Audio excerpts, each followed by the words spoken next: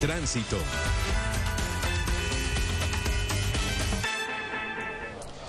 Con 1.400 puestos de control en las vías del país, las autoridades de tránsito intentan identificar a los infractores de la cuarentena durante este último puente festivo de este mes de junio. Sin embargo, a esta hora los trancones son los protagonistas en algunas salidas de la capital colombiana. Para eso nos acompaña Jessica Leaño desde la autopista sur y Rafael Niño en la calle 13. Vamos a iniciar con Jessica Leaño con toda la información de tránsito y movilidad. Cuéntenos, Jessica, cuál es el panorama a esta hora en el sur de la ciudad. Adelante, buenas noches. Aníbal, muy buenas noches para usted y para todos los televidentes. El panorama es este, el que ustedes están observando en imágenes. Bastante flujo vehicular y no cualquier tipo de vehículo, sino carros particulares los que se están movilizando hacia el sur de la ciudad por esta importante vía de Bogotá. Tanto así que el carril exclusivo de Transmilenio ha tenido que ser habilitado para que puedan circular los vehículos particulares.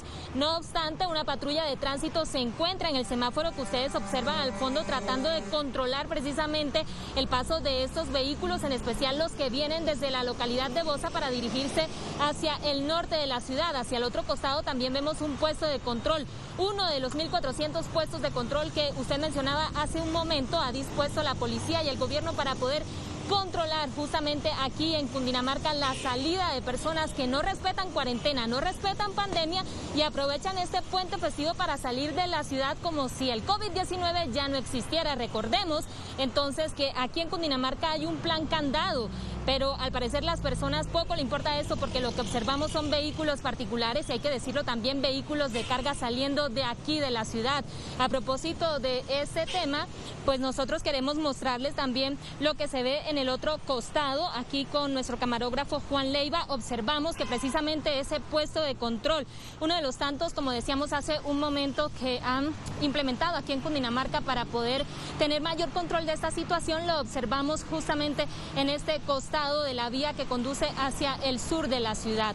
Pero hablemos del pronunciamiento del gobierno, de lo que dijo el presidente Duque el día de hoy relacionado con esta situación que los colombianos parecen no entender y es que hace un llamado a la disciplina social, recordando que no es momento para fiestas y mucho menos para salir de puente.